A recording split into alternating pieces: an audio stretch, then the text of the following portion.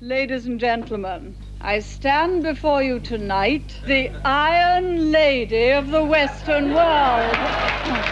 Her words, her actions, her reactions. In so many ways, Margaret Thatcher left her mark.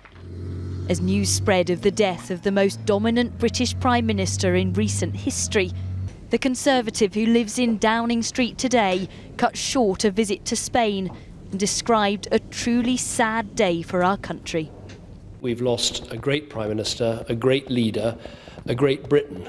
As our first woman Prime Minister, Margaret Thatcher succeeded against all the odds. And the real thing about Margaret Thatcher is that she didn't just lead our country, she saved our country. And I believe she'll go down as the greatest British peacetime Prime Minister. Baroness Thatcher had been living at the Ritz Hotel in central London since before Christmas after a minor operation. Her spokesman said she died there peacefully this morning after another of the strokes that had blighted her health in recent years. Rarely seen in public, when she was pictured, her frailty was clear to see. But those who knew her well said her spirit never disappeared. There are many different Margarets. There's a Margaret of legend, and there's a Margaret that really existed, who, in terms of being a politician, was very forceful but she could also be pragmatic when she needed to be. She knew when to move away and when to come back and attack again. Buckingham Palace released a statement saying the Queen was sad to hear the news of the death of Baroness Thatcher. Her Majesty will be sending a private message of sympathy to the family.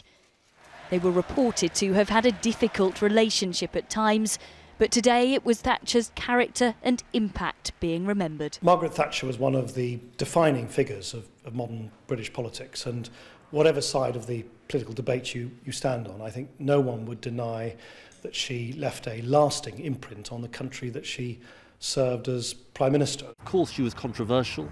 Uh, we disagreed with much of what she did as a Labour Party, but we can disagree and also hugely respect her extraordinary achievements and her extraordinary personal strength. Her legacy may take longer to set. I think it'll take some time to people to fit her into British history. I think a, a good many people who were brought up uh, really to, to dislike her, to be a bit afraid of her, um, that'll go away, that'll, that'll settle down, and we'll find, she'll find her place in history, but I think that'll take a bit of time. There were flowers laid this afternoon outside the house of the politician admired and reviled in equal measure.